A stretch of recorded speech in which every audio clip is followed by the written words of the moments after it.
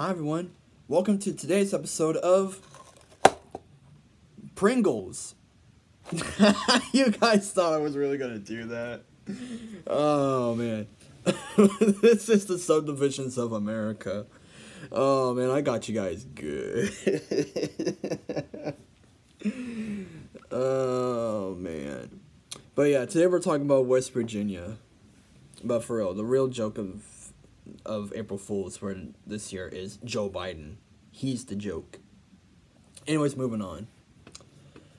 The official name of West Virginia is State of West Virginia. The states that it borders are Pennsylvania, Maryland, Virginia, Kentucky, and Ohio. It has 55 counties. The capital and largest city is Charleston, not South Carolina. Obviously, this is West Virginia we're talking about. It is the 35th state which became a state on June 20th of 1863. Yeah, it became a state right in the middle of the Civil War because a bunch of the western counties of Virginia, because you know it was a lot bigger back then, decided to split off because they wanted to remain with the Union and not the Confederacy. So Congress let it happen, and yeah, that's how West Virginia became a state. Pretty much in a nutshell. Alright, the population is 1,792,147 people.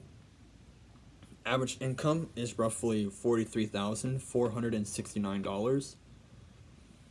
Current governor is Jim Justice, who is a Republican. They have three congressional districts.